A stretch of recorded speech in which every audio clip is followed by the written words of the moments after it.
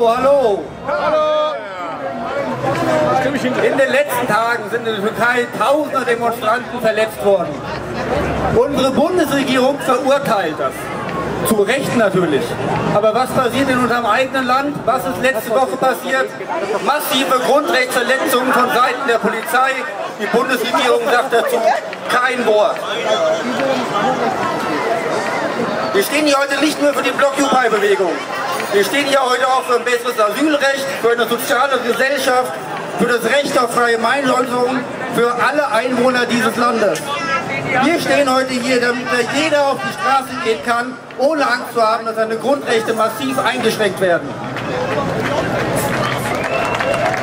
Wenn ihr euch erinnert, letztes Jahr, viele von euch waren bestimmt dabei, haben wir hier mit 10.000 Leuten gegen ACTA demonstriert. Und wir waren auch erfolgreich.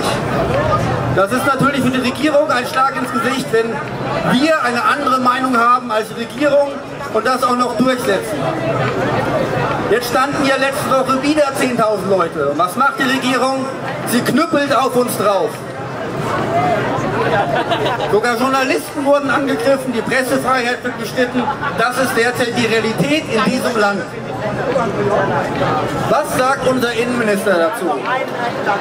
Bürger, Journalisten und Abgeordnete sind alles Lügner. Das Sicherheitskonzept ist aufgegangen. Wir haben die Bürger vor Schäden bewahrt. Bei 300 verletzten Demonstranten muss ich fragen, sind wir denn keine Bürger hier?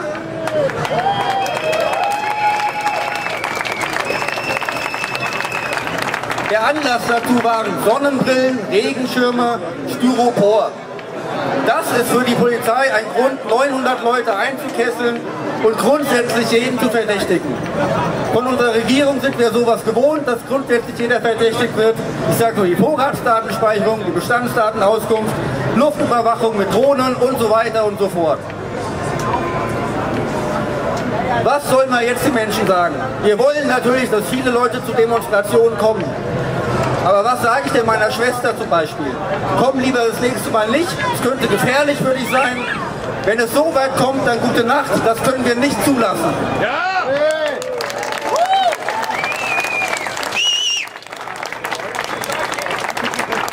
Ich möchte in einem Land leben, in dem mich der Anblick von Polizisten um mich herum beruhigt und nicht verunsichert. Ich möchte von einer ausgeruhten, gut bezahlten Polizei geschützt werden. Ich möchte eine Polizei, die für meine Sicherheit da ist und keine, vor der Angst haben muss. Wir brauchen ein System, in dem Polizisten keine Angst um ihren Job haben müssen, wenn sie unmännliche Anweisungen von oben melden und einfach nicht ausführen. Gleichzeitig fordern wir eine eindeutige Kennzeichnungshilfe für alle Polizisten, damit wir uns nachträglich wehren können. Das beinhaltet auch eine unabhängige polizeiliche Beschwerdungsstelle für polizeiliche Übergriffe, damit Ermittlungen nicht mehr intern versanden. Wir stören hier wieder das Punkt. Es ist an der Zeit, dass wir wieder ungestört unsere Stimme erheben können. Es ist an der Zeit, dass unsere Proteste ernst genommen werden. Es ist an der Zeit, neue Konzepte auszuprobieren und es ist an der Zeit, wieder Politik für alle Menschen zu machen, um das Wohl aller zu vermehren und nicht nur das von bestimmten Gruppen. Sagt man so schön, in Deutschland wird es keine Revolution geben, weil der Rasen nicht betreten werden darf. Lasst uns laut sein und denen zeigen, dass wir nicht nur das Stimmvieh sind, das Wahlvieh und das Bezahlvieh. Dieses Land ist unser Rasen und wir betreten ihn, wann wir wollen. Und die Straße holen wir uns zurück.